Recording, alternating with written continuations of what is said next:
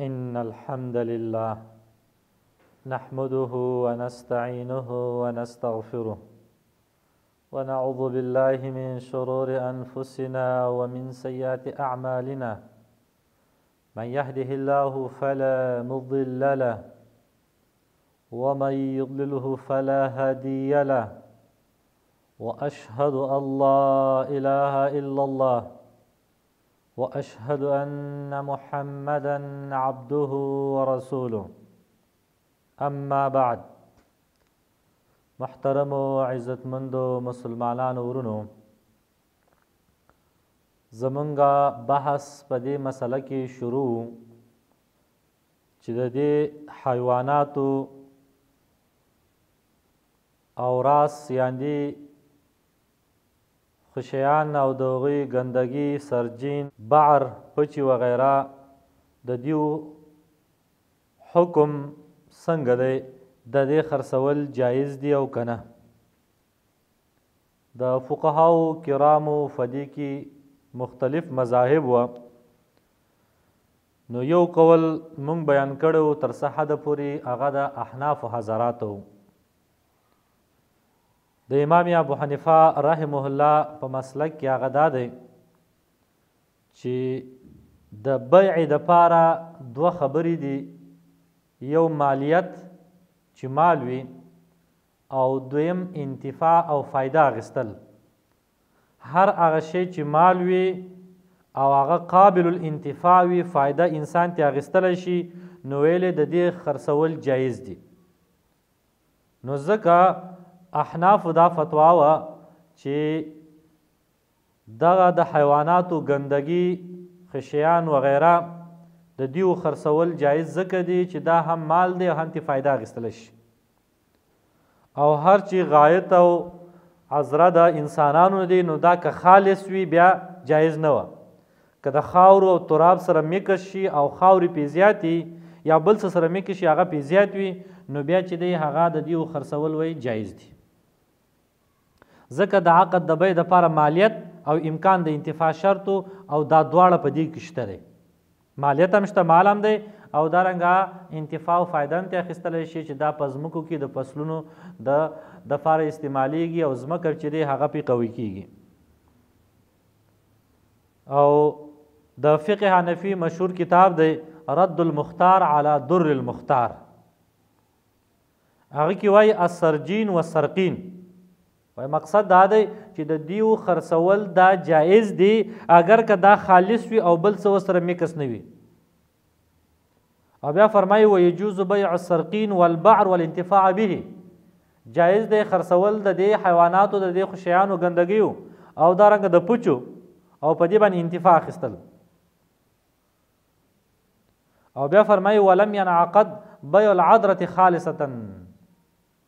وای دا خبره نه ده منعقده چې خالص د انسان هغه ګندګي دي خرڅ شي چې کله خالص وي البته چې کله د بل څه سره میکس وي نو بیا فتوا دا ده چې بیا جایز دي دویم د مالکیانو مسلک د امام مالک رحم الله اتباع دغه رایه دا ده دا اعیان دا ټول نجس دي د دې خرڅول جایز نه دي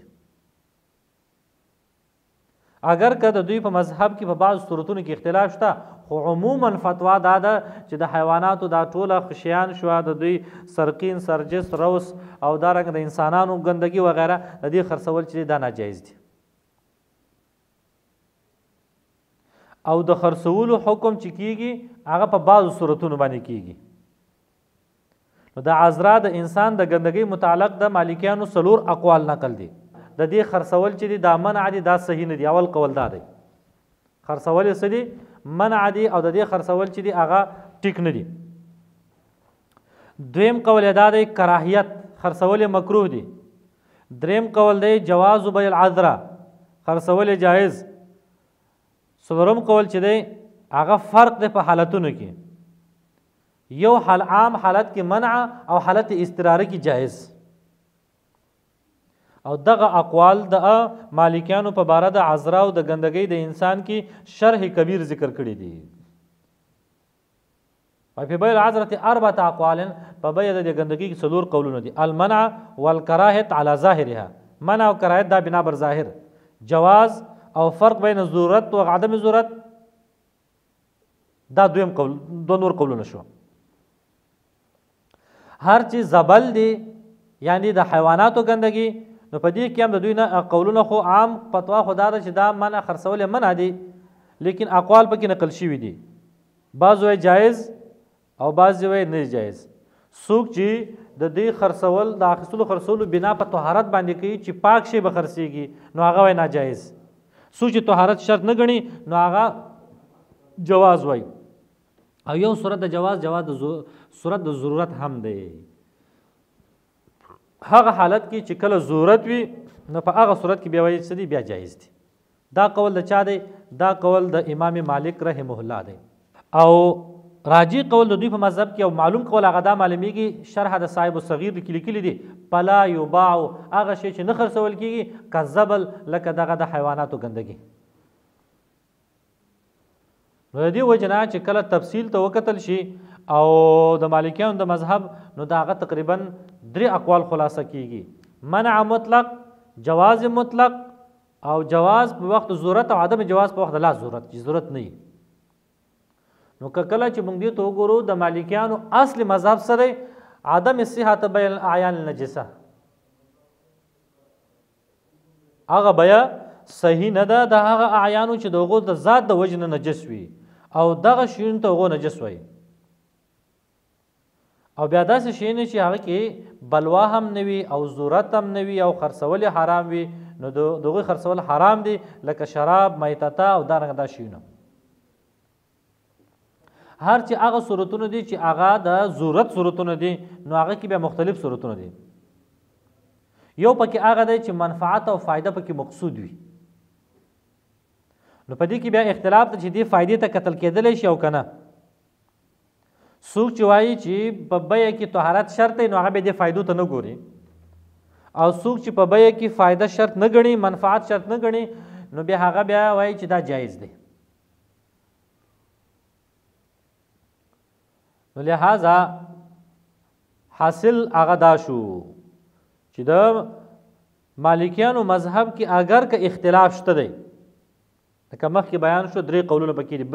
منع مطلق جواز مطلق او جواز په وخت ضرورت او عدم جواز په وخت نه ضرورت کې نو ځکه ځینې حکم د دې زبل او د دې شینو د د د د خرڅولو د حرمت حکم کوي او ځینې چې دی هغه د خرڅولو چې دی د خرڅول وخت د ضرورت کې دی جواز ورکوي نو چې کله حاصل وکتل شي د د مالکیانو د خبرې نه د نصوص نه دا خبره مستفاد کیږي چې دوی په بیع د عذره کې اختلاف لري او دا رنګه بیعه د زبل کی د انسان ګندګی او د حیواناتو ګندګی عذره چې دی یعنی د انسان ګندګی یو قول دا نقل دی چې منع بیعه دا خرڅول منع دی دویم قول کراهیت دریم قول جواز سلوم قول جواز د بیع په وخت د ضرورت کې دا سلور اقوال د انسانانو د ګندګۍ متعلق د مالکیانو نقل دي او هر چې زبل دی یعنی د باقی نور حیواناتو ګندګي چې هغه ته زبل وای مزابله غذای ته وجدا پکې چول کیږي نو الته یو قول د جواز نقل دی بل قول د منع نقل دی دریم قول جواز عند ضرورت د ضرورت په وخت جایز او چې ضرورت نو بیا منع نو عمومي قول د منع شو خو لیکن دا اختلاف په خپل د مالکیانو په منځ کې درې یا څلور قولونه د عذره باره کې څلور رائے او د زبل او د نور حیواناتو باره کې درې رائے دي هر چې مذهب شافعي دی شوافی وای عموما دا قول کوي چې ګندګي د انسان او دارنګ د حیواناتو د دې خرڅول منع دی وای دا به څوک نه خرڅوي وجه څه ده وایي لنجاستهما دا څه دي نجس دي او د نجس شي خرڅول دا په شریعت کې ټیک نه دی وایي دوی قیاس کوي په بیع د خمر شراب او په بیع د میتتې او په بیع د خنزیر وایي چونکې دا درې وړه اعیان نجس و نو دغو خرڅول منع دي نو لهذا عذره ګندګي د انسان او دارنګه د دې نور حیواناتو دا هم نجس دي نو ځکه د دې خرڅول سړي منع دي ځکه د شوافیو دا مسلک دی چې بیع د هغه عین کېدلی شي چې هغه کې طهارت وي کم شی چې پاک وي هغه خرڅولای شي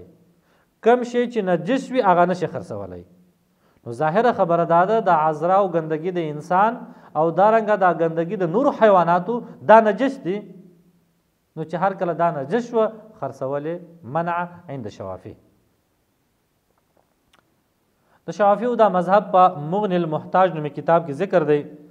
وای د بې د فارسو شرطونه دي یو طهارت عینه هر هغه شی چې خرڅه د هغه عین به پاک وي اشی به پاک وي نجس بني نو ځکه شوافی وای وای د سپي او د شرابو خرڅول جایز نه دي ځکه دا نجس دي او دارنګه خل او لبن او دهن د دیو د سپي پي او دا رنګ د هغه غوړي وغیره چې راوځي دا ټول چې دی هغه نجس دي ځکه شرط د بیع د پاره د صحت د پاره طهارت د مبيعې دی مبيعه به پاکوي او چې کوم شي نجس وي نو هغه صحیح نه دی او دغه شیونه چې کوم دي عذرا ګندګي د انسان او د رنګ د حیواناتو دا نجس ده نو چې هر کله دا نجس و نو د دې خرڅول هم په شریعت کې څه شو منع شو او حرام شو فتح الوهاب بشری منهج الطلاب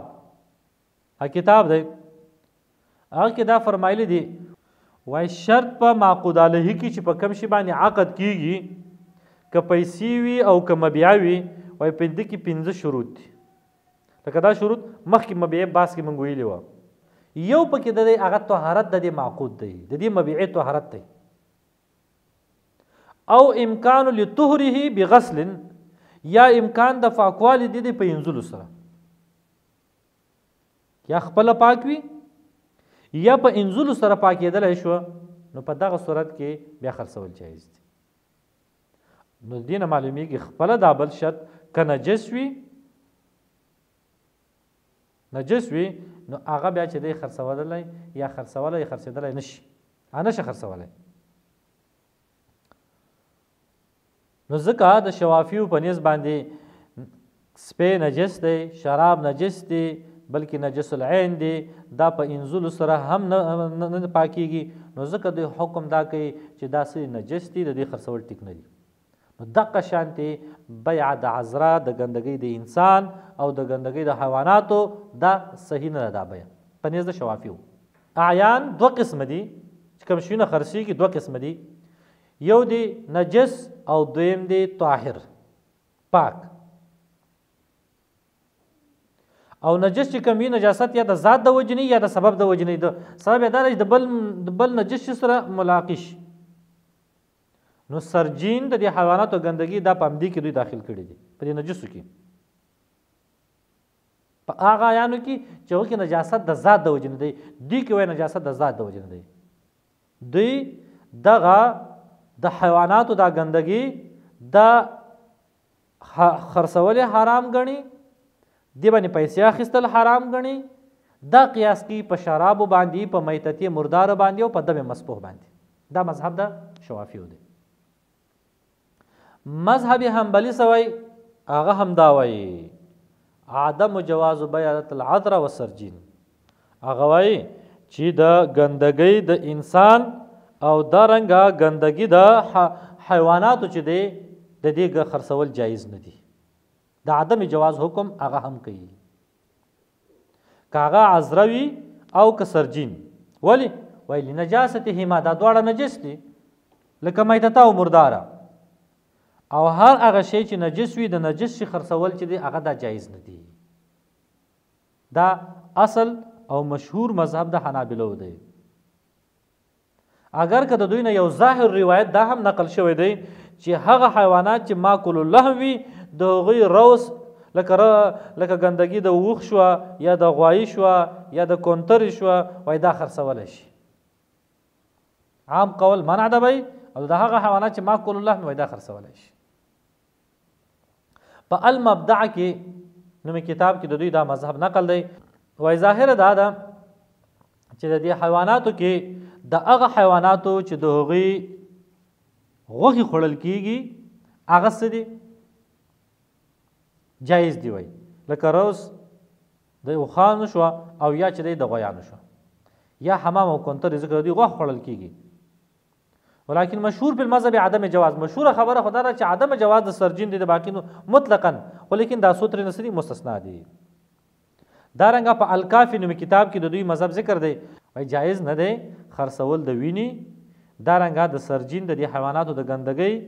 دا نجس دي او په دې باندې مجموع اتفاقي فیصله دا ده چې دا حرام دي دوی مشابه د میتتې سره لکه څنګه چې میتتا خرڅول منع دي دا رنګه دا هم خرڅول منع دي نو ځکه دوی وایي چې لا یجوز بیع السرجین د دې خرڅول هغه جایز نه دي لکه څنګه چې شوافیو د طهارت د مبيعه د پا د مبيعه د پاره شرط طهارت ګرځولې نو دوی هم د بيع د پاره طهارت د عین یعنی د معقود علیه دا شرط غني او دا رنګ منفعت هم شرط غني نو ځکه دوی وایي چې د دې خرڅول ټیک نه دي دا رنګ په اروز المربع نومي کتاب کې هم دا خبره ذکر شوې ده په بیع کې و شرطونه دي یو شی چې خرڅیږي او دغه نه ته پیسې جوړې دغه د پاره و شروط دي هغه ټول شمیرل دي خو بیا وای الثالث ان تكون العين المعقود عليه او على منفعتها مباحه النفع من غیر حاجه وای دریم شرط دا دی عین ذات د معقود علی عند مبيعي دا به هغه شی وي چې په د باندې به منفعت راځي یا مباح المنفعت به وي بغیر د حاجت نه نو بیا د دغه شرط باندې تفریق کړی دا چې وای والمیته ته لا یسیه بیوها ولا سرجین وای میته ته او دا رنګ د دې خرڅول جایز نه دی او دا رنګ سرجین د دې حیواناتو ګندګي د خرڅول جایز نه دی لانه کلمیته ته نجس وای دا د میته په شان سری نجس دی په المغنی کې هم دا خبره ذکر شوې ده هغه فرمایي وای دی باندې اتفاقی فیصله ده چې دا نجس دي نو د دې بیا خرڅول جایز نه دي په شان د میتتیو بیا وای رجی ده هم نجس دي بلا یجوز بیها کرجی الادمی لکه د انسان ګندګي چې د هغه نشه خرڅولای نو د باقی نور حیوانات هم نشه خرڅولای د نجاست د وجنه نو حاصل دا شو مشهور مذهب د حنابلو څه دی عدم بیع سرجین د دې حیواناتو د ګندګۍ نه خرڅول ځکه هغه وایي چې د دې په نجاست باندې اجماع ده اگر که یو شاز قول یا یو نادر قول یا یو دسی قول چې هغه د نو عام قولونو خلاف دی هغه استثناء پکې ده چې خرڅول د ګندګۍ د هغه حيوانت چې ماياکل اللحم وي لکه روث الابيل والبقر والغنم والحمام اوښ ده غوایی ده ګډو ده او کونترې ده نو د دې حاصل او خلاصه بحث هغه دا راووتله چې اقوال مختلف دي په باره د خرڅولو د بیع د دې حیواناتو د ګندګۍ او دارنګ د انسانانو اصلا دا اختلاف ذکر راغلی دی چې د دې د حیواناتو په متعلق دا اصل باره کې اختلاف دی چې دا نجس دی او کنه او دارنګه د بیع د شروط باره کې اختلاف دی چې طهارت د مبيعي شرط دی کنه نو څوک چې طهارت د مبيعي شرط غني هغه د دې خرڅول جایز نه غني او څوک چې طهارت د مبيعي شرط نه غني لکه احناف حضرات نو هغه د دغو ګندګیو د حیواناتو د دې خرڅول جایز غني نو دا هغه بحث وو چې مونږ تر څه حده پورې وکئ چې په باره د خرڅولو د دغه حیواناتو د ګندګۍ وغیره چې دا یو عامه بلوا ده په ډیرو ملکونو کې دا خرڅیږي اخیستل کیږي د دې حکم معلومولو کوشش تر حد واسه پورې مونږ وکړي ان شاء الله په آینده بیان کې به د دې ټولو مذاهب موازنه بیان کو او قول راجح به ذکر کو هاذا واخر دعوانا ان الحمد لله رب العالمین